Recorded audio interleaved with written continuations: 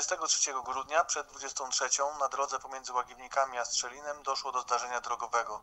21-letni mężczyzna jadąc samochodem Ford stracił panowanie nad pojazdem i uderzył w Volkswagena, którego kierowcą był 42-latek. Przyczyną zdarzenia mógł być stan nietrzeźwości kierującego, gdyż badanie alkomatem dało wynik 2,22 promila. Sprawę prowadzić będą funkcjonariusze Dzierżoniowskiego Wydziału Dochodzeniowo-Śledczego.